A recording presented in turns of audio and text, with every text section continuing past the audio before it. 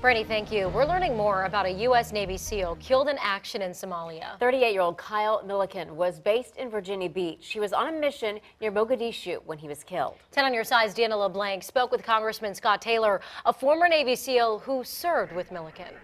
Yeah, Laura, Congressman Taylor tells me he served with Senior Chief Milliken in Iraq and at one point was an instructor in a course that Milliken was taking. Now, Milliken was a highly decorated Navy SEAL. Among his long list of awards, four Bronze Stars with combat valor.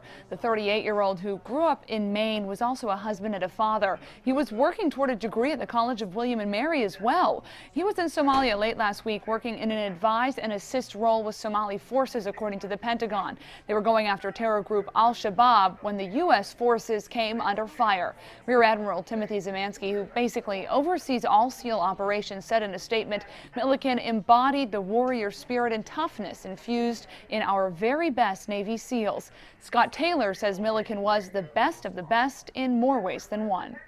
A consummate professional. He was an amazing family man. He was an amazing teammate. He's an amazing friend.